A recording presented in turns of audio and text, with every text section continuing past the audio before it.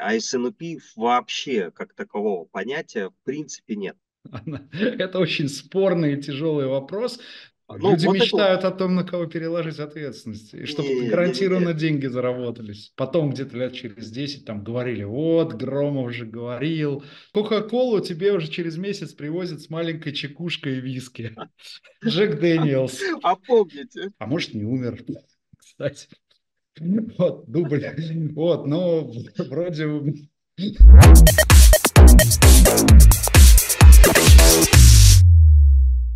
Так, ну всем привет от кругов Громова.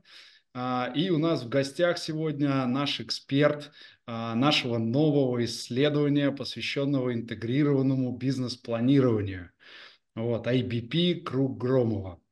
А, это Артем Рогов, который сейчас, я надеюсь, представится, и я задам первый вопрос. А для начала хочу немножко разбавить шуткой, да, которую мы все любим. И, как говорится, шутка такая, что сколько планировщиков спроса нужно, чтобы э, закрутить одну лампочку? Ой, нет, лампочки не доехали. Вот, поэтому вот такая смешная шутка. Ну и, собственно, вопрос такой. Э, Артем, а что вас побудило вообще принять участие в исследовании Круг Громова по интегрированному планированию? И как этот проект вообще перекликается с вашим опытом работы в крупных FMCG-компаниях? Да, Сергей. Э, ну и там, всем, может, представитесь, да. Всем, всем привет. Да, меня зовут Артем Рогов, я э, генеральный директор СМ Академии. А, это компания, которая занимается обучением, консалтингом, в том числе по IT-системам по планированию. И с 2020 года а, компания работает, но на самом деле до 2020 года я работал в крупных FMCG компаниях, корпорациях. И, собственно говоря, еще с тех времен я был на той стороне, когда выбирал системы, для своей функции. А, я был в том числе и руководителем по планированию, всего интегрированного планирования. Поэтому а, были задачи, в том числе и по автоматизации. И ну, сталкивался я с определенными сложностями при выборе. Да? Первое – это поиск, в принципе, а, систем, которые мне подходят. Да. Вообще, сколько их, да? как они называются, какой у них функционал. То есть вообще понять а, скоп всех систем. А второе, это что они могут, да, что у них заложено в, mm-hmm. в самой функциональности. И это была действительно достаточно сложная задача.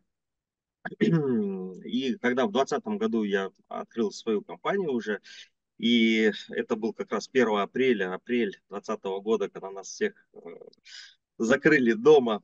Э, да, да. Первое, что я сделал, это я начал записывать видеообзоры IT-систем по планированию. То есть тогда уже, в общем-то, у меня возникла идея того, что, в общем-то, людям, компаниям нужно а, какой-то ресурс, э, куда они могут зайти и посмотреть вообще, а кто есть. Да, и да. кто что может. Собственно говоря, в 2020 году я начал записывать такие видеообзоры. Mm-hmm. Они до сих пор, я вижу, лежат в Ютубе, их смотрят. В этом в этом году даже мне говорили, что посмотрели ваш обзор, э, решили посмотреть на компанию поближе, на одну из компаний. Вот. Но Отлично. на самом деле это уже чуть-чуть устарел, потому что, конечно, в 2020 году... Ну, с тех э, 2-3 года назад, спойлерни, э, си- сильно изменилось вообще обстоятельства? Сильно эти, эти продукты вообще изменились с того времени или нет? Так, если спойлернуть. Кардинально. Я скажу так, абсолютно, да. Вот э, еще до 22 года... А, То есть обзоры уже не очень актуальны, надо писать следующие, возможно, совместные запишем. Так вот, вот, да, об этом и речь, я с чего и начал, да, что вот э, важно для компании э, иметь вот какую-то какой-то источник, да, где можно Магический квадрат Гартнера раньше был, сейчас Точно. вот круг Громова, да, тоже Точно. в пиаре. В общем-то, меня это очень сильно заинтересовало, в том числе и названием. Да, название, оно специально такое, с небольшим как бы сарказмом, потому да. что я когда, да, почитал, кто такой Гартнер, это конкретный человек, который, к сожалению, уже умер, вот, но, да, я решил, да, продвинуть немножко личный бренд. Окей, хорошо, ну вот есть у нас такой такой второй вопрос. Каковы, на ваш взгляд, ключевые задачи нашего исследования «Круг грома», ну, в котором мы же уже немножко поработали, уже поучаствовали, уже немножко по, поработали с критериями, а, и поэтому вот какие, на ваш взгляд, ключевые задачи этого исследования и как э, непосредственно ваша экспертиза может помочь этому исследованию? Ну, что-то про это. Угу. Ну, а, Смотрите, основная цель э, вот таких исследований – это дать возможность компаниям, которые решили сделать такой сложный шаг в, в автоматизацию. Э, в общем-то, я по себе знаю, что это действительно достаточно сложно. Бывают компании там год, два, три решаются да, туда пойти. Вот, э, дать возможность увидеть вообще, кто есть на рынке, угу. какую функциональность э, каждая из э, этих систем покрывает, и сложить у себя картинку а, будущей архитектуры а, всей IT-системы а, по интегрированному планированию. Почему всей картинки? Да? Потому mm что кому-то нужен только прогноз продаж, да? кому-то нужен там, планирование производства, кому-то сырья материалов, кому-то все это нужно. Да? И mm-hmm. вот э, не все системы дают полный функционал. Кто-то, наоборот, фокусируется только на запасах, да, и это их конек, собственно говоря, да. А каким-то компаниям, в общем-то, это и нужно, и больше ничего. Вот.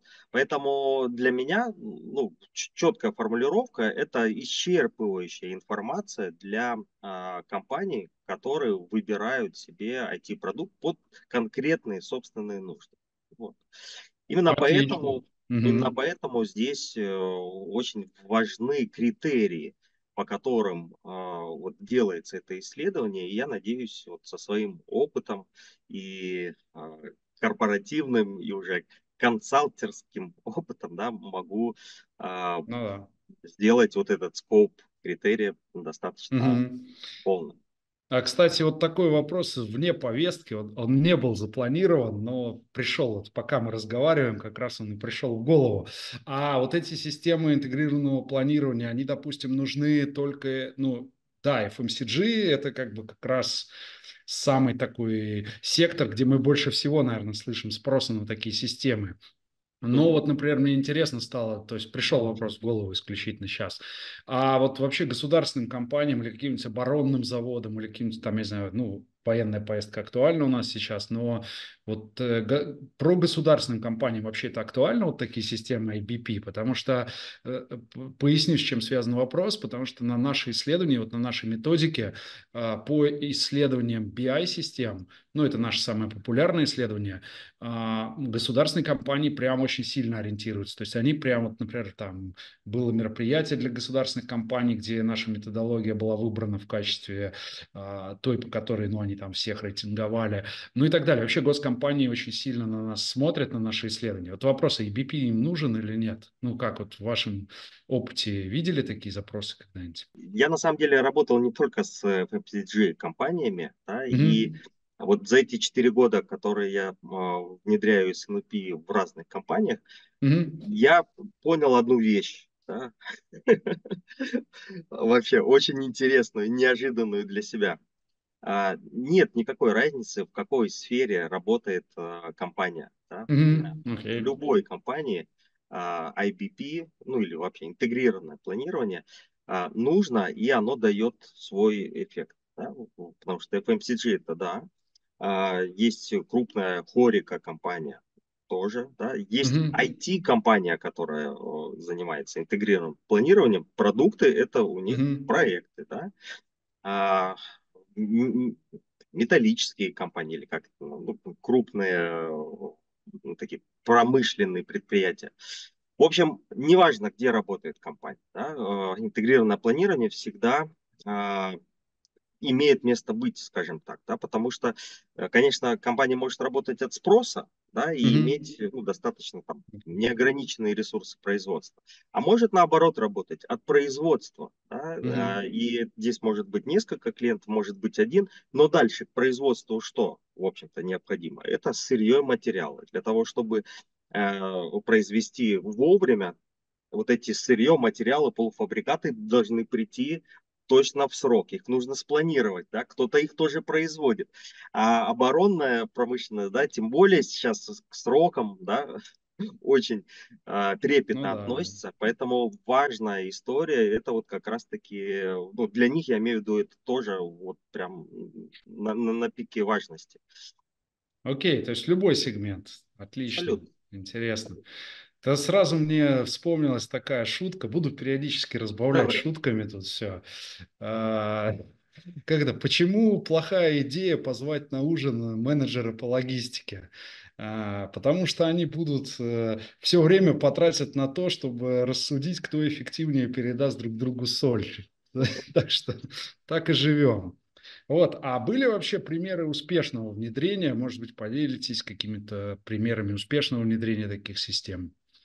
Что считать успешным, там, не знаю. Ну, да, конечно, да, я, в общем-то, первое, что сразу да, готов назвать, это то, где я сам работал, да, а, да. это вот э, компания Coca-Cola, да, компания mm-hmm. Carlsberg Group, а, в общем-то, дальше уже с точки зрения а, консалтинга, да, были внедрены проекты э, интегрированного планирования в компании Валио, Сибирская альтернатива. В общем-то, есть еще ряд компаний, которых я не могу сейчас называть, mm-hmm. да, но это тоже, как я уже сказал, крупная хорика есть. В общем, а, кейсы есть успешные, и знаете как, успех, э, он а, точно будет, важно понять, а что именно какая цель, да, а, вот здесь сейчас, в этом году, например, да, на чем должна фокусироваться компания в рамках интегрированного планирования.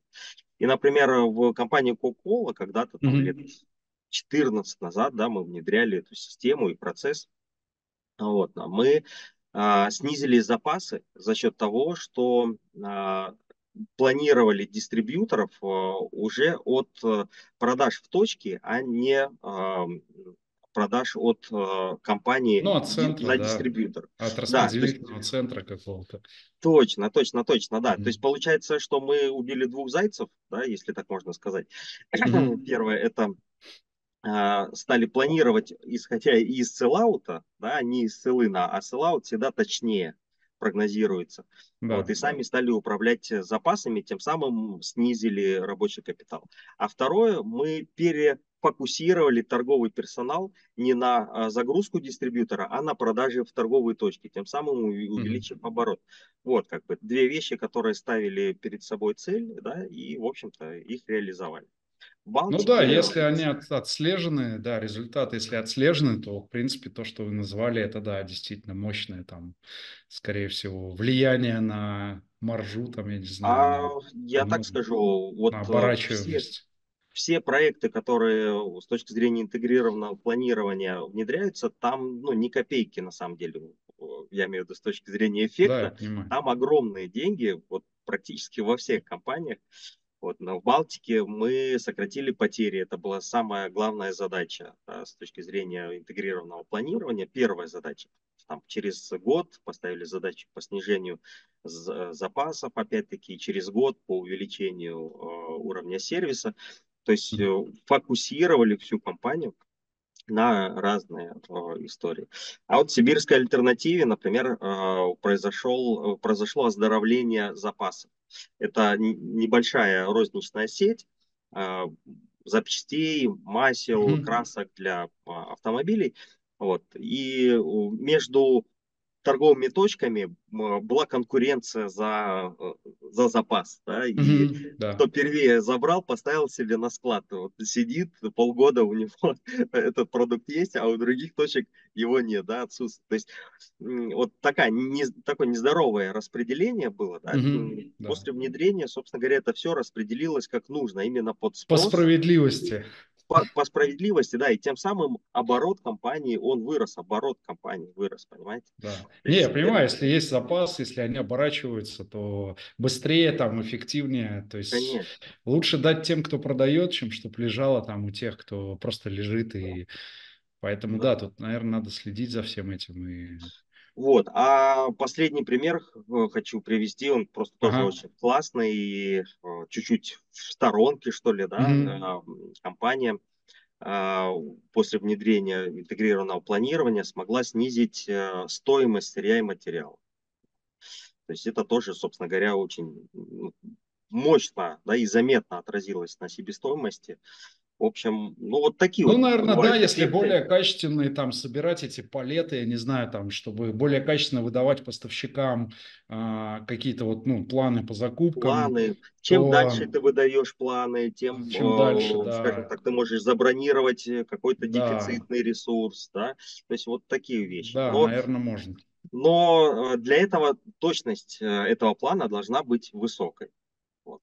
А для Хорошо. этого, в общем-то, системы и помогают э, сделать его еще больше. Ну, про точность планов мы тут э, в своих кулуарах э, биайных, аналитических тоже много общаемся и, в общем, пришли к тому, что, да, точность Это очень спорный и тяжелый вопрос, но я как бы услышал интересную вещь, опять же, вне, как говорится, плана нашей дискуссии, что как бы, а помогаете ли вы рассчитать вот такие рой от внедрения? То есть, грубо говоря, можем ли мы а, перед тем, как внедрять э, будем такую систему планирования, ну, я имею в виду, если я заказчик, предположим, а можем ли мы заранее как-то посчитать вот этот возврат инвестиций, там вот сколько мы сэкономим, сколько мы улучшим? То есть вы это как бы в цифрах даете клиентам? Ну и вообще были такие запросы? Можете посчитать или нет?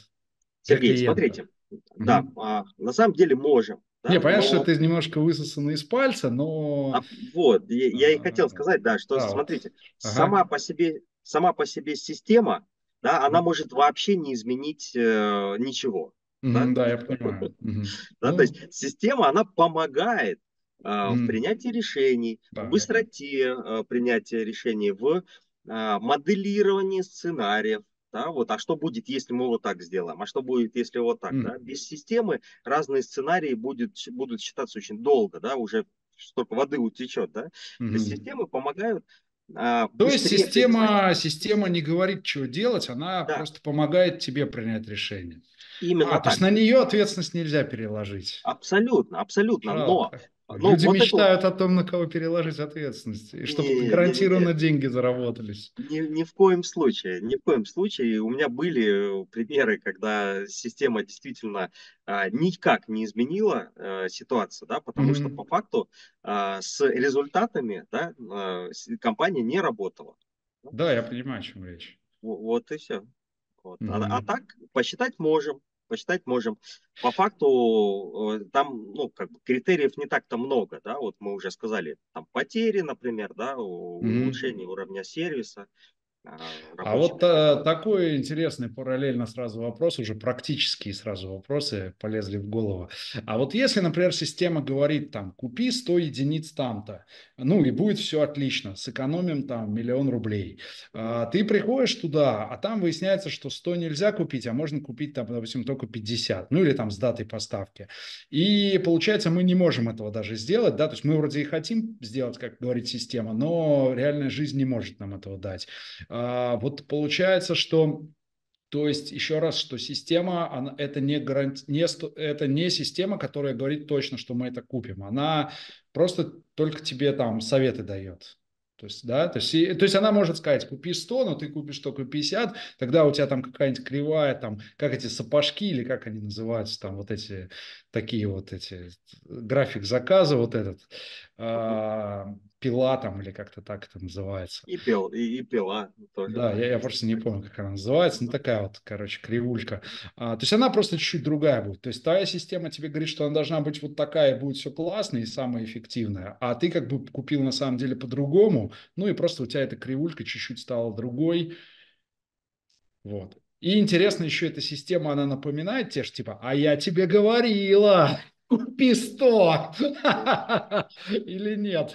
Да, Сергей, а, тут эм, э, я, я скажу так, да, uh-huh. есть э, какие-то регулярные вещи, которые, а, по идее, должны происходить самостоятельно автоматизированно. Uh-huh. Да? И это можно настроить на самом деле. Да? Вот в системе можно настроить. Э, если, к примеру, а, система говорит, купи столько-то, это есть в наличии, да, а, заявка принята да, от э, поставщиком, то все, туда можно даже не лезть, грубо говоря, угу. да. Okay, все это да. можно, в общем-то, автоматизировать, и это все уходит. Если э, какое-то отклонение от нормы, скажем так, от mm-hmm. правил, да, здесь уже принимает э, решение человек. Вот. А, поэтому вот сейчас такие классы систем автоматизации, я имею в виду, да, а, по интегрированному планированию, они все больше и больше не просто калькуляторы, как вот там было раньше, да, вот тебе э, просто калькулятор, который считает быстрее, точнее и там какие-то факторы да. учитывает, которые человеческий мозг там учитывать не может, да, просто физически. Mm-hmm. Вот. А если а, вот сейчас мы говорим, то вот интегрированное планирование все больше и больше популярности, да, mm-hmm. такая аббревиатура SNOP приобретает. Да. Планирование продаж операций. И здесь э, вот говорится уже не только про калькуляцию, не только про расчет, а здесь говорится именно о еще и согласовании этих mm-hmm. ну, каких-то расчетов. Да? Ага, то есть, то есть не только прогноз, но и... Абсолютно, да. То есть SNP это полный спектр всех планов, которые есть в компании. Это прогноз продаж, это план производства, план закупок mm-hmm. сырья материалов, план финансов. Ну вот если грубо говоря, да, вот ну, как бы такие. И они все имеют э, один и тот же источник информации. Да? Таким образом, вся компания живет в едином информационном пространстве. И на каждом из этих этапов э, есть разные согласователи. Да? Здесь отдел продаж, менеджер по продажам да. там, разных категорий. Здесь э, там, директор по производству, да, здесь директор по закупкам. И это определенный workflow. Да, и вот сейчас есть э, системы, которые позволяют и считать, да, и тут же распределять там по зонам ответственности, получать э, согласования, корректировки в реальном времени, да, и получать э, там следующий шаг, да, когда тебе приходит уведомление, а тебе пришел какой-то объем на согласование, да, согласуй его, mm-hmm. а через три дня еще раз напомнил, а ты не согласовал, да. Круто, круто, да. Ну, это, как я понимаю, что мы уже и начали обсуждать наш следующий вопрос, собственно, о роли SNDP, что это такое SNDP в контексте, в том числе, интегрированного планирования. А, и, собственно, вот у нас как-то это, э, это в исследовании будет выделено, то есть вот этот вот SNDP, а, мы как-то какие-то у нас чек-листы, может, там в чек-листе какие-то отдельные, не знаю, критерии, вот дающий вот возможность про этот workflow, допустим, что-то узнать. Я так понимаю, что должно быть, правильно? Да, Сергей, э, ну, так как мы уже работаем с... Кто делает исследования, да? Да, да, да, да, да, да. да. Уже не первый Вы эксперт, вы эксперт. Делаем, да, да, да. Да, да я думаю, что ну, мы его еще немножко допилим, но мне кажется, это правильно будет сделать, потому что, как я уже сказал, SNP набирает популярность. Да. А, даже ритейл пошел туда, да, в общем-то. У нас очень много запросов в нашей компании, вот мы тоже на острие атаки вот этого направления, у нас очень много зап, ну, запросов и по обучению, и по внедрению, uh-huh. и как я себе, например, вижу, это больше, конечно, такой консалтинговый обучающий проект, потому что, в принципе, у нас изначально в образовании, в вузах там нет такой специальности, да, и только вот недавно начали делать там лет, я не знаю, 5-6 назад там каких-то категорийных менеджеров, э, и вот до SNDP, я так понимаю, еще никто не дошел, но и с другой стороны, я так понимаю, это тоже не единственный вариант, как компания может работать с вот с этими цепочками поставок, то есть это не единственная как бы методология, и, и с другой стороны, по ней нет особого обучения, поэтому каждый проект, я так понимаю, уникальный уникален, и он больше заточен на то, чтобы научить людей это сделать, чем даже автоматизировать. И, кстати, вот мы как раз вот тут есть и вопрос у нас такой, а какие ключевые компетенции необходимы специалистам по интегрированному планированию и конкретно как вот ваша компания SCM Академия, собственно, может в этом помочь, и какую роль вообще играют человеческие факторы в успехе таких проектов, во внедрениях, а, какие навыки, компетенции нужны, как их там, что нужно развивать. Да, я даже не знаю, может, какие-то айтишники уже джаваскриптеры должны быть, или, или наоборот, это люди от бизнеса. Вот, как, расскажите. Про людей, ну, про навыки, про вашу роль академии. У нас, кстати, очень много запросов по обучению, поэтому будем с удовольствием с вами вместе учить людей. Да, да, да, да. Ну, отлично. Смотрите, в методологии может быть э, там и много, да, но это методологии, там, например, как посчитать прогноз или как управлять запасами, да, есть там прям кардинально разные подходы к управлению запасами да. теми же самыми, да, там Минмакс, ну даже да. вот мы сейчас э, с вами видим в исследованиях, да, используют разную методологию. Вот а, это, вот здесь я согласен, что есть определенно разная методология. С точки зрения СНЛП я альтернатив не вижу на самом деле. Да? Mm-hmm. А, хотя я о, здесь тоже там, так, не, небольшую шутку, да, да. А, сколько вот тоже уже я сталкивался, да, а, мне в компании говорят, ну, у нас есть СНЛП, чего вы это? Ага. Все, у, нас, у нас все работает. Да, а, планирование есть в каждой компании. Да? Конечно, ну, невозможно не спланировать, там, э, что привезти на завтра, да, на послезавтра, на месяц и так далее. Невозможно не спланировать там, какой-то бюджет да, финансовый и так далее. Но это все планы абсолютно разрозненные. Да? А СНП это как раз про единство всех планов. Единство. Вот, поэтому всегда до СНП, вот когда компании приходят к тому, что нужна вот эта вот методология, они сначала проходят через осознание, да, что на самом деле да, у них есть планирование, конечно, да, но у каждой да. функции оно свое. Mm-hmm. Отдел продаж делает свой прогноз. Финансы говорят, да, кто там что знает, что будет, мы лучше знаем, сделаем точнее финансовый прогноз. Закупщик сидит, говорит, да, они вообще ничего не знают. Я тут сам договорюсь со своими компаниями, поставщиками, они мне привезут столько, сколько нужно. И вот так вот э, все функции абсолютно да, живут в, в, в, да. в собственном соку, и в каждой функции есть определенный буфер ресурсов. И да, вот когда да. ты приходишь и делаешь единый э, вот угу. этот э, прогноз, это единый круто, план, да, все, вот эти вот буферы, они уходят и остаются только там, где ну, необходимо для всех. Да, вот именно на этом и компании получают. Э, ну, а что-то я вот, э, вот что задумался, что получается это же ERP, MRP системы, это по сути и были такими системами, которые планируют ресурсы, то есть а почему это не ERP система, мне вот стало что-то интересно. Не, ну, а, на самом деле э, можно и ERP-системой а, обойтись. Да? Вопрос да. только в том, какое количество данных угу. в компании требуется обработать для того, чтобы создать этот план. Вот, потому угу. что в рамках ERP-системы происходят еще и транзакционные да. процессы. Вот. Да. И вот здесь э, может просто подойти такой момент, да, когда транзакции и когда э, процессы планирования просто займут все мощности. Да? И okay. вот у меня был один э, ну, случай, да, когда э, компания э, на ERP-системе делала mm-hmm. большие расчеты по прогнозам, и система просто встала, да, и они не смогли не принимать заказы, да, да, не выписывать понял. счета okay. фактуры. То есть это очень ну, опасно, да, поэтому я всегда... Нужно деле... high availability и такое, да, балансировщик нагрузки. Абсолютно. Да, но, но мы на самом деле ушли от темы, вы тут интересно все про SNDP рассказали, но еще раз все-таки давайте про компетенции, про людей и про академию. Да. Что, что в академии да, и преподаем, и что надо знать людям, и что, что у них развивать-то вообще. И вообще сейчас люди самый больной вопрос в России. У нас с демографией тут есть вопросы, и как бы всех не хватает, айтишников там, и вот вопрос этих-то хватает, цепочников поставок. Ну, э, смотрите, я так э, вижу ситуацию на данный момент.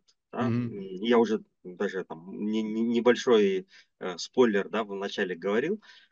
Э, система, IT-система позволяет э, разделить э, весь блок фронт работ на две истории первая история. Это то, что а, нормально, регулярно продается, планируется, без больших всплесков. Да?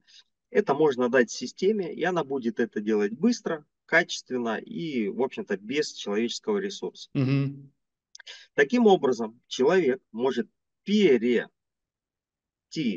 а, с планирования там, всего объема на работу только с тем фронтом работы, который система не может уловить. Не может уловить логики, да, ну, волатильные продажи. Опять-таки, система не может э, спланировать то, что она, ну, как бы, что в нее не, не Там вот вроде говорят, в ковид как раз именно были какие-то вот прям у всех там, что, ну, как-то по-другому резко стало да, спрос. Да, да, да, да, да. То есть а, от человека мы не можем избавиться, к сожалению, mm-hmm. или к счастью, okay. да, тут, куда посмотреть вообще. Ну, то есть здесь тоже расхожее мнение, да, что поставим автоматизацию, всех уволим. Ну, нет да, mm-hmm. так э, нельзя. В любом случае всегда будет определенная э, часть, которая не будет схватываться системой, и человеку здесь нужно принимать решения, mm-hmm. да, определенные. Но он вот эти решения будет принимать уже более обдуманно, будет больше времени на принятие решений по вот таким вот непонятным всплескам. Потому что регулярка проходит системно, и она, в общем-то, к ней не нужно даже прикасаться, грубо говоря. Okay. Таким образом, компетенции да, у человека, который занимается планированием, а, сводятся, ну, скажем так, я бы разделил на две части, да, mm-hmm. софты и харды, да. Вот okay. софты это, а, ну, конечно же, там какое-то объемное логическое мышление, да, умение работать с э, большим объемом данных, не бояться, скажем таких, да, возможно в голове там группировать, разгруппировать, ну, то есть это реально определенный склад ума, и вот этому не научишь. Тут, э, да, системность это такая очень важная вещь, когда по полочкам все может систематизировать, разложить, расприоритизировать, да. Да, да, да, да, да. Вот угу. понять, а, почему именно так, да, вот что привело вот эти вот все вещи. Вот. Ну, это вот такие софты, тут нужно, в общем-то, просто понимать, да, что вот либо они есть, либо их нет, mm скажем так. Вот. А по хардам здесь уже, конечно, модели. А, ну, ну как определенные а, модели, которые задолго до нас с вами, да, mm-hmm. уже разработаны и, собственно говоря, нормально работают в той или иной ситуации. И вот здесь как раз-таки мы, вот как Сем Академия, учим вот таким подходом, да, э, как посчитать страховой запас, как посчитать э, прогноз спроса, как его обогатить различными факторами, а какие вообще факторы бывают, да, а как оценить уровень зрелости текущего процесса. То есть э, здесь уже э, мы даем, ну, условно, да, это такой большой э, набор лучших практик из разных компаний, да, и человек уже может как по по инструкции, грубо говоря, да, посмотреть, да. а, вот есть э, ну, такая-то формула, да, как посчитать запас. Супер, да, я ее сделал, mm-hmm. в том okay. же Excel, да, его ее прописал, получил э, определенный результат. Вот, таким вещам мы mm-hmm. как раз таки и учим. Ну, я, кстати, да, читал несколько книг таких по логистике. Вот одна из моих, которые я прям люблю, это этот Штраух Бидер такой. Вообще топовая книжка, очень простая для понимания, но а, прям супер много знаний. Ну и дальше там, да. Как это говорится, чего больше всего боится Матадор цепочки поставок, да? Как этот эффект кнута или там, эффект хлыста. Да. Вот. Понятно, то есть как обычно hard skill, soft skill, и я так понимаю, вы в вашей академии как раз вот даете эти, в том числе hard skill, вот эти примеры формул и по каким-то материалам, в общем, как сказать, да, ну, я, я вначале сказал, что любая индустрия, в общем-то, подходит под э, интегрированное планирование, под э, угу. методику SNUP. Э, соответственно, тут у нас уже тоже большой набор уже как сказать, готовы ко внедрению а, материалов, прям шаблонов, да, там, встреч, тех же там, презентаций и так далее. Это одна компания у нас а, прошла обучение и просто, знаете, как а, каждый слайд использовала как инструкцию к применению, да, и ну, да, без, без консалтинга, да, внедрили себе SNP просто по как, программе обучения от SEM Академии. То есть, Все бы так. Да, да, да. Ну, то есть наработок А, много. кстати, какой, какой процент э, джуниоров у вас? Ну, то есть таких молодых специалистов, кто только-только пришел. Просто интересно, в основном зрелые специалисты по цепочкам переучиваются, ну, там какие-то новые знания получают. Или все-таки джуны, там, типа студенты, условно, а, идут, учатся и потом там устраиваются? Даже интересно. Потому что сейчас актуальная тема, что, грубо говоря, вот этих зрелых все меньше и меньше да, становится, а, и молодежь подпирает уже. И вот интересно, как, как у них, норм или нет? Ну, смотрите, мы вот как Академия еще проводим э, такие индустриальные игры, сильное звено называется. Угу. Проводим как с компаниями, где играют директора по логистике, по планированию, Круто. серьезные руководители э, приходят играть, да, посоревноваться Супер. друг Нет, с другом. Геймификация – это самое главное. Да, да, да, да. И есть направление студенческой лиги, угу. где точно так же соревнуются э, только уже выпускники логистических специальностей различных вузов. Вот. И, к сожалению, вы правильно сказали, а, вот э, с точки зрения планирования программ в наших вузах, их практически нет. А СНП вообще как такового понятия в принципе нет. Поэтому я в нескольких вузах проводил э, ну, для студентов да, программу mm-hmm. по СНП. И, собственно говоря, это сейчас определенная, ну, такая вот проблема, да, что вот э, наши специалисты, которые приходят, они изначально ну, не в полной мере обмундированы, да, скажем да, так, для, для бизнеса. А у нас Поэтому... в IT то же самое, да. Ну, вот. Поэтому сейчас, конечно же, приучиваются и, как говорится, и старый млад, да, переучиваются okay. все.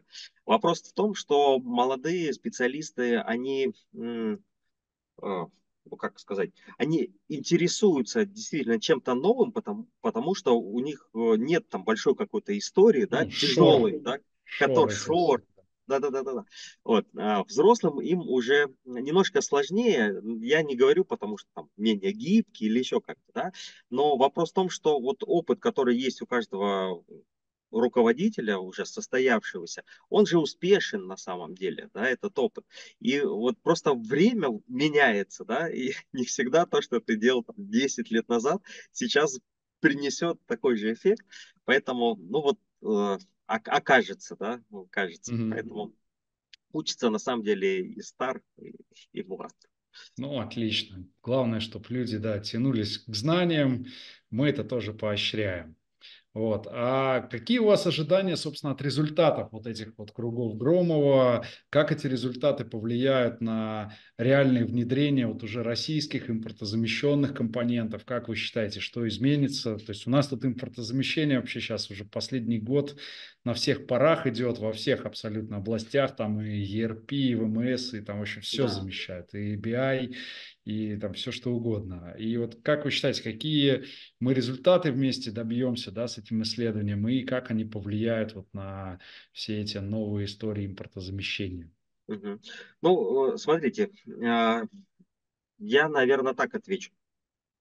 Может быть, высокопарно, да, будет звучать, okay. но а, для этого у меня есть несколько причин так думать. Да. Первое, а, что ну вот уже лет 10 да, э, идет э, ну, такой постоянное, э, постоянный интерес компании к интегрированному планированию, СНП и автоматизации. Да. И он, вот этот интерес, он еще далеко до, не на пике. Да? Mm-hmm. То есть сейчас идет планомерный рост интереса компании условно так друг друга опыляют через э, конференции, через mm-hmm. вот, там, какие-то встречи, те же самые сильные звенья. Там, э, я провожу уже третий год подряд э, конференцию, так называемая витрина IT-решений. Тоже, да, вот мы сейчас да. говорим с вами про исследования, да, а это да. как бы такая конференция, где компании выходят и рассказывают, а, что вообще э, системы могут. Вот. И вот эти два года, да, они э, ну, немножко притормозили, скажем так, да, вот этот процесс по разным причинам, да, но так или иначе это действительно ну, немножко приостановилось, и сейчас я вижу возвращается. Да, возвращается скорость. Вопрос в том, что системы уже не те. Да, сейчас у нас на рынке российские а, системы, которые, ну, к сожалению, да, вот э, два года назад э, были в очень сильной конкурентной среде с иностранными системами, и ну, реально было очень сложно с ними конкурировать с точки зрения да. инвестиций, ну, то есть много таких вот было а, вопросов. Да, Но это если не секретная информация, то какие это системы? Которые ушли, вы имеете? Да. Анаплан, онлайн, ну, слушайте, их, их достаточно много. Ну, там как бы не все так просто, да, они там были, были вопросы там и с их использованием, хотя они, Это, конечно. Э, да, я да. же не говорю о том, что да-да-да, к ним-то не было вопросов, конечно. Да, да, как да, любой IT-продукт, он никогда не будет завершенный, да? Ну, как и ремонт в квартире, в доме, да? Он всегда будет, всегда будет что поделать. Вот. Но так или иначе, а, и системы сейчас наши, они э, ну, еще не на том уровне развития, да, которые а, требуются ну, некоторым большим компаниям. Да. А, поэтому сейчас, я думаю, что вот еще несколько лет э, мы пробьем дальше интерес к IT-системам в наших компаниях. Ну, то есть пик, он, ну, грубо говоря, я так плюс-минус ожидаю, будет лет через 5, через 7, да, когда большинство компаний уже осознают, осознают и будут э, требовать да, определенную автоматизацию. Сейчас идет процесс, э, вот одна компания э, внедрила систему, рассказала об этом на конференции или там на каком-нибудь обзоре, да, другие да. послушали, а дайте-ка я тоже попробую, да. И вот через такой процесс э, это точно будет идти, интерес действительно есть. А, второй вопрос э, – это э, скорость принятия решения, а, на какую систему а, нужно перейти. И вот как раз результатами вот, исследования, как mm-hmm. по мне кажется, да, это скорость принятия решений, скорость понимания того, а с кем нужно идти. Да, то есть вот этот процесс исследования рынка, а, там, понимания, что может э, эта система делать, да, не все же там а, где-то кто-то приукрасит, да, свою, свою функциональность, свои возможности, да, вот эти вот все вещи, они, ну, Да, любят говоря, приукрашать, любят да. написать везде «да», так что... Да, да. Абсолютно. А потом оказывается нет. Да, ну, да есть... мы, мы, это вычищаем. В этом да. вот об этом же и речь. Об угу. этом и речь. То есть э, я считаю, что вот как результатом это а, мы с вами пройдем одну дорожку для сотен компаний. Да? Вот не каждая компания будет идти по одной и той же дорожке. Да? Мы с вами один раз ее пройдем, и этими да. результатами будут пользоваться остальные. И вот, собственно говоря, вот эта э, скорость принятия решений и скорость внедрения, она увеличится. Как мне кажется. Вот. А как я уже сказал, какие эффекты дает э, вот этот и процесс, mm-hmm. и системы, то, ну, конечно, оптимизация расходов, там, рабочего капитала и так далее будет приводить к тому, что наши компании будут более прибыльные. Ну а дальше влияние на экономику и так далее. Вот. Ну да, да. Как говорится, да, есть две теории получения точных прогнозов, и ни одна из них не работает. Да, это мы знаем. Вот. А как вы думаете, какова роль э, цифровых технологий и вообще там, анализа данных вот в этом интегрированном планировании? И на каких вообще технологических решениях, может, вы что-то уже знаете, э, там, может, спойлернете что-то? Какие наиболее считаете перспективными к внедрениям? Ну, в общем, может быть, что-то про какие-то технологические решения расскажете, пару слов. Ну, смотрите, я бы сейчас выделил э, два больших основных э, направления в IT-системах. Да. Это, mm-hmm. ну, условно, так я буду сейчас э, по, по народному, да, это коробочные решения и платформенные решения. Mm-hmm. Mm-hmm. Вот э, раньше... А в чем там, разница? Вот раньше, там, лет 20 назад, да, э, платформенных решений практически не было, да, были mm-hmm. вот а, в основном коробочные, да, и вот произошел переломный момент, э, и начали появляться платформенные решения, а, которые, скажем так, а, работающие на микросервисах, то есть как, как микропазлы, знаете, mm, вот, okay, и знаю. Вот ну что такое микросервисы, я хорошо знаю. Да, да, да. И ты вот видишь, что там тысяча этих микропазлов, и ты из них можешь собрать ровно то, что нужно именно тебе. Да? Okay. Потом через какое-то время что-то еще потребуется, ты взял еще несколько пазликов, да, и таким вот образом формируешь а, для себя систему, которая вот именно тебе нужна, да, вот, э, и подходит именно ну, твоему бизнесу. Вот. Коробочные решения – они, а, ну, соответственно, стали сдавать позиции, да, потому что, ну, вот такая гибкость, да, она mm-hmm. вот как раз э, в наше время, собственно говоря, ну, без нее не, не, ну, уже никак не выжить, да, вот мы okay. за последние четыре года видим, да, нужно измениться так, измениться так, вот, а, коробочные решения, их сложнее да, менять, а иногда очень ну, трудоемко так, что можно сказать, что вообще невозможно. Да?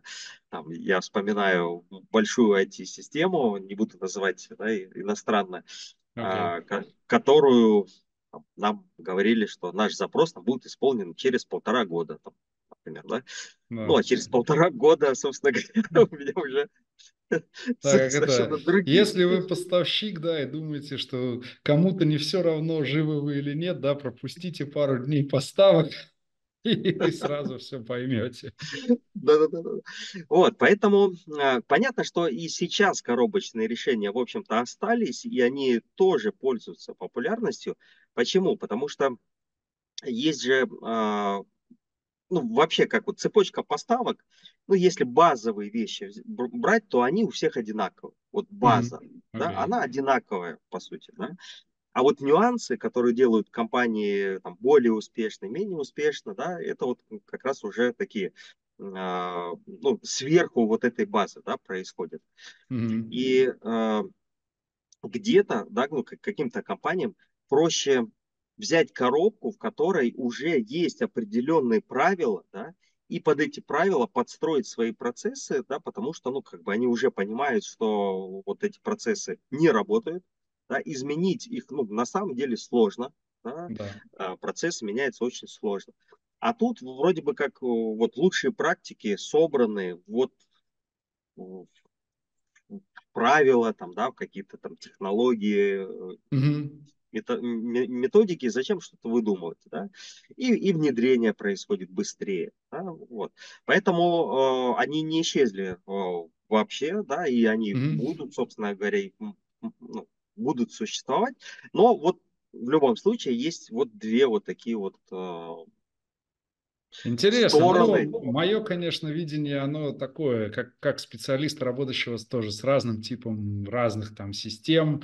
Я немножко там по-другому себе представляю слова коробочное решение, платформенное, но было интересно послушать ваше мнение, да, и Э, окей, будем считать, что вот и, и, как бы и так тоже люди думают о всей этой истории. А, ну, в общем, мы не останемся, я думаю, без решений, потому что наши, как я всегда люблю хвалить российских программистов, потому что поработал с программистами со всего мира и могу сказать, что наши классные, поэтому мы точно не останемся без софта, что бы ни произошло. Поэтому... Это, это абсолютно точно. Я скажу так, вот когда э, исчезли иностранные компании, да, остались э, российские, их на самом деле, как ни странно, оказалось очень мало, да, можно там на пальцах пересчитать. И э, вот что бросилось в глаза, да, так это то, что сам движок, э, расчетный движок, да, он отличный. На самом деле, вот там одна из компаний занимает высокие места на мировых э, конкурсах, да, по прогнозированию спроса, то есть угу. сама математика, да, вот это вот э, код, он у нас очень крутой, вот в российских компаниях. Что хромает, это визуализация, да, это вот интерфейсы, вот, вот эта история, но она и дорогая, собственно говоря, да, и здесь понятно, ну, как бы, во что делали инвестиции наши российские да, компании, это, собственно говоря, в движок. Ну, мне кажется, это и, и правильно, да, вот. Ну, пусть будет там интерфейс чуть-чуть не такой красочный, как у Анаплан, например, был, да, но зато там цифра более точная, собственно говоря. Поэтому я абсолютно с вами согласен, у нас программисты крутые, и система у нас тоже, в общем-то, а, мы такую конкуренцию им точно-точно а, да, но, может быть, тогда поразмышляем просто о будущем таких систем интегрированного планирования, да, не в контексте там страны, а вообще во всем мире. Как считаете, какие тренды, что будет, как видите развитие этой отрасли? То есть такой туристический прогноз, я не знаю, какие факторы будут определять это развитие, то есть что вообще, что нас ждет, как считаете, что вы много лет в этом... Я, например, могу рассказать про э, такую же историю про IT, вот, что нас всех скоро заменит искусственный интеллект и так далее. У меня есть много прогнозов интересных, я там вот планирую писать статьи на эту тему, просто чтобы потом где-то лет через 10 там говорили, вот, Громов же говорил. Но есть такие люди просто, кто пишет такие статьи, а потом они сбываются, и все такие, вот, там, он же говорил. Но вот давайте про ну, интегрированное планирование. Как считаете, что, что там будет? Я думаю, что а, тренд будет в том, что компании будут а, выходить за рамки своего бизнеса, а, потому что в, самой, в самом термине интегрированное планирование, да, здесь, в общем-то, а, заключено не только интеграция разных функций да, в создании единого плана в одной компании, да, но и интеграция компаний, которые, собственно говоря, делают полную цепочку да, а это, собственно говоря, поставщики сырья материалов, да, это mm-hmm. клиенты. То есть вот вся вот эта вот цепочка, она, а, я думаю, что а, будет расти, потому что, ну, во-первых, компании, некоторые компании продвинутые уже а, этим делом озаботились и занимаются. В том числе я в одной из своих предыдущих компаний занимался такими проектами, потому что внутри себя, когда вот компания долго занимается оптимизацией, а планирование, в общем-то, это одна из частей, э, факторов этой, этой, автомати... Этой оптимизации. Вот когда мы практически исчерпали все ресурсы внутри себя, да, мы начали выходить э, наружу, да, мы начали выходить к нашим дистрибьюторам и помогать им оптимизировать их расходы, да. Да, тем самым, скажем так, да, мы платили меньше процент, ну, я условно. Да, да, да Что... Вы за них там что-то им перевали, часть вашего интеллектуального багажа, да. и они за счет этого... Абсолютно, абсолютно да. верно, да. Или как вот э, в э, ковид, да, компании, даже конкуренты использовали там один ресурс, там один грузовик, да, э, один продукт везет в одну точку, а обратно везет там, продукты конкурента, да, но вот это тоже определенная это коллаборация. уже, да, такая, не, я как бы, я рад этому, да, но это звучит в нашем жестоком мире очень сурово, потому что как что там волк принес барашку воды, чтобы тот напился, ну, как бы, не, ну это классно, интересная идея, потому что я так, так не думал, но да. Вы, вы правы, не все пойдут, э, конечно же, в эту историю, но тоже я так скажу, да, а, тренд, он а, на то и тренд, да, когда ты сегодня думаешь, что это вообще невозможно, да, а послезавтра да. Большинство компаний э, уже этим занимается, и, собственно говоря, это становится через месяц уже вообще абсолютно нормой, да. Как это, Кока-Колу тебе уже через месяц привозят с маленькой чекушкой виски. Джек Дэниелс. А помните, помните. А они знали, что ты заказываешь одновременно две, и поэтому спрогнозировали, что ты купишь эту чекушку, уже сразу тебе заслали. Окей. Вот, поэтому я думаю, что а, тренд в а, реально в большом интегрированном планировании, когда а, происходит а, участие ну, всех компаний, да, которые вот да. находится внутри интегрированного Супер. планирования. Супер. А, ну, Артем, тогда огромное спасибо. Мои вопросы подзакончились. Может быть, у вас есть какие-то ко мне вопросы, может быть, что-то тоже интересно узнать из нашей тяжелой жизни, или можем уже и попрощаться и, как говорится, пожелать всем успешных внедрений систем интегрированного планирования. А, мы надеемся, что, собственно, исследование выйдет уже вот-вот, то есть это уже буквально на днях, и, собственно, вы уже сможете ознакомиться с трудами Артема и нашей команды. И, в общем, если есть какие-то вопросы, Артем, давай, или пожелания, там что-нибудь можно сказать в камеру.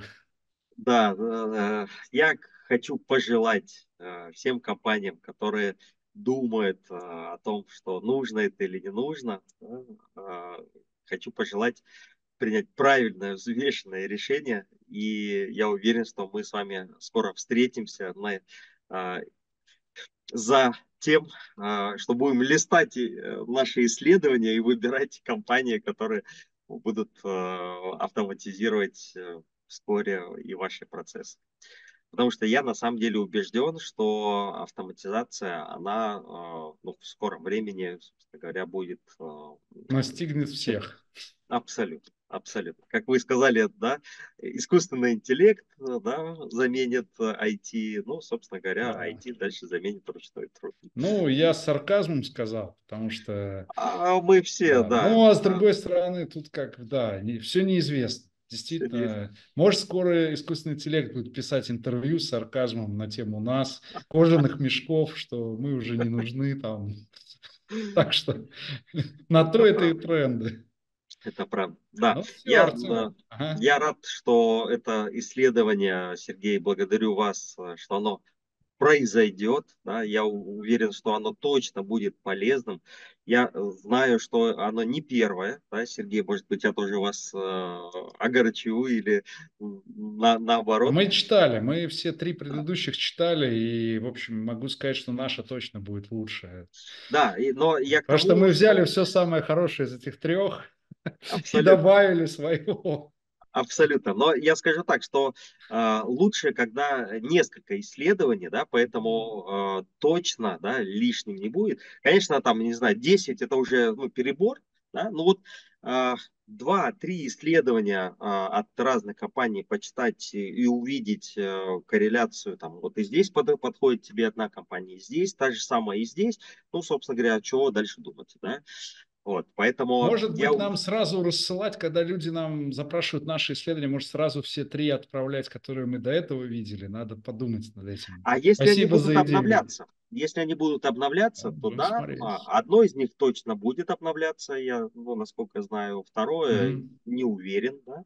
Вот. Но в, в целом так, поэтому я очень рад, что вы пошли в эту историю, рад, что да. это будут круги, да, да, посмотрим. Наши собственные, да. И, конечно, с той проработкой, с которой а, сейчас делается это исследование, я уверен, оно точно будет полезно. Вот однозначно. Да? Да, я вижу это изнутри. Я могу сказать, что вот BI-исследование, которое уже 5 лет делается, оно с каждым годом улучшается, оно, то есть эта методология постоянно улучшается, то есть мы еще не дошли до конца этой методологии. С каждым годом добавляются все новые фишки, там, например, в этом году мы уже опрашивали аудиторию, клиентов, то есть они нам давали обратную связь, ну и там много других фишек новых добавилось в этом году в, в, то, в BI исследование. Uh-huh. Ну и также будет, собственно, с интегрированным планированием. То есть сейчас это первая версия, мы с нее начинаем, и дальше постепенно будем все это улучшать, улучшать. Э, там, поэтому, конечно. да, конечно. Тут главное продержаться в нашей жизни, что мочь это делать. Вот. Артем, большое спасибо вам за то, что вы поучаствовали. Рад с вами познакомиться и вместе работать. Вот. До новых встреч. Спасибо и до новых встреч всем.